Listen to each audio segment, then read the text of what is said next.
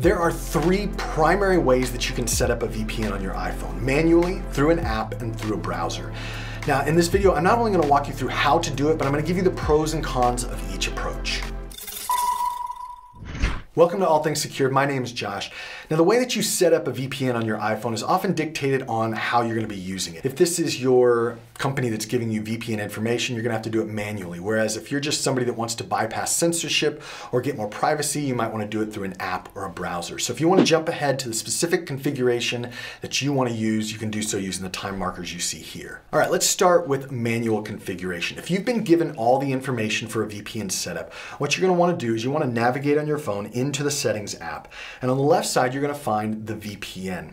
Now, on the bottom, there's going to be a, a, button that says Add VPN Configuration. And this is where you're going to take all the information that you were given from your employer or for whoever it is that's owning and running this VPN server to give you and input that information. That includes the server, the remote ID, and your username and password.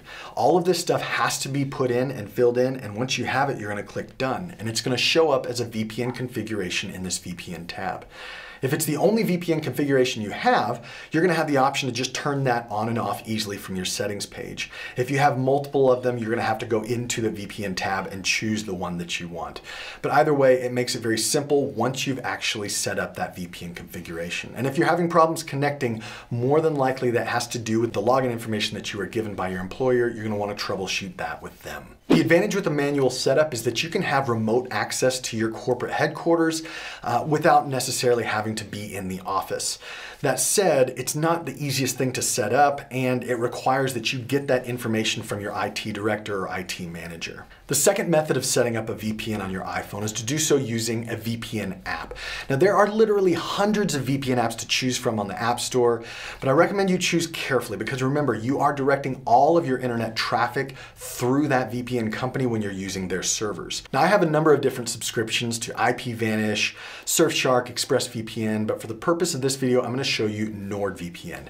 Now, if you go into your App Store, you can look and find NordVPN and download the app. You can subscribe through the App Store, but I recommend you do so on your computer because it just gives you a few more options. It's a lot easier to get a refund if you do it through your computer as opposed to your phone. And if you want to get that link, I have an affiliate link in the description that helps support this channel, but it also gives you direct access to the NordVPN's best deals when dealing with uh, their service. Once you download the NordVPN app and you have your login from having signed up on your computer, you can log into your VPN app and then you'll find a map as well as a list of all the different servers that you can connect to. When you first connect to NordVPN, it's going to ask, do you want this uh, app, this NordVPN, to allow to set up a VPN configuration, and you want to click Allow. And what that's going to do is instead of manually going in and setting up that VPN uh, configuration like we just did in step one, it's going to do it automatically so that you don't even have to go into your settings app. And that's the advantage of using something like this is it's much easier for somebody who's not as tech savvy or somebody who doesn't want to go through and manually do the setup. The app does all the setup for you, and all you have to do to connect to that VPN is choose the server that you want to connect to, click on it, and it will automatically connect. Once you see that VPN icon on the upper right of your iPhone, you know that you're connected, you know that your internet connection is encrypted, and now you can bypass any censorship, bypass any geo restrictions, and generally browse the web a little safer. The third method for setting up a VPN on your iPhone is through a browser. Now, there are a number of browsers that do this. The one that I recommend is something called Tor browser. It comes with the VPN. Now, it's not free. You still have to pay for it, just like the method number two, but it's not that expensive. And what it allows you to do is it, anytime that you're on the Tor browser, you can connect to a VPN server in one of many different countries that they have available. And it will not only anonymize your connection, give you an anonymous IP address, but will also encrypt that connection just just like the NordVPN app did earlier.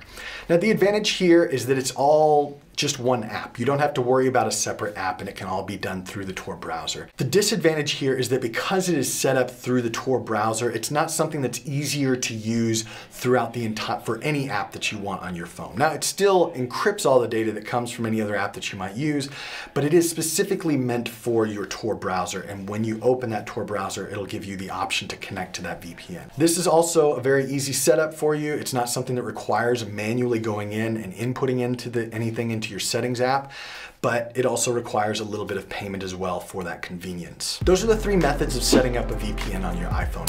It's not that hard. I also have already gone into details of how you can do this on, on your computer if you want to watch that video. Uh, if this video was useful for you, give it a thumbs up. If you have any questions, leave them in the description below. Thanks so much for watching and subscribe to All Things Secured.